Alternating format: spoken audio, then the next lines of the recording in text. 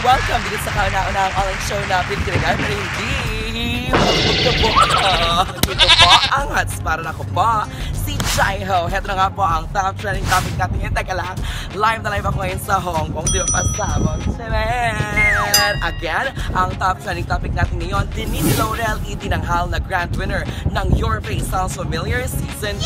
Kagabi nga ay nanalo at binoto ng taong bayan itong si Denise Laurel sa Your Face Sounds Familiar Season 2 at talaga nga namang malaki ang kanyang pasasalamat sa management at pati na rin sa lahat ng mga taong pumoto sa kanya. Masasabing try and try until you die dahil di ba hindi naman siya madalas manalo sa weekly nilang labanan pero siya pa rin ang itinanghal bilang si Beyonce. Agad-agad, eto na nga po ang exclusive interview ni Denise. Panoorin natin ite.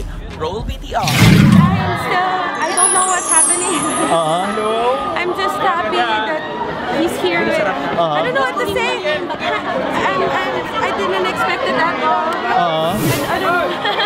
Okay. Yung maraming salamat sa lahat ng bumoto and sa nanonood ng Your Face After. And most importantly, thank you to ABS-CBN and Your Face for giving me this chance after 19 years. Oo. I've never, every week umiiyak yung anak ko kasi hindi ako um, nanalo but I wanted to show him about hard work and perseverance at kahit anong mangyari, try and try until you die talaga.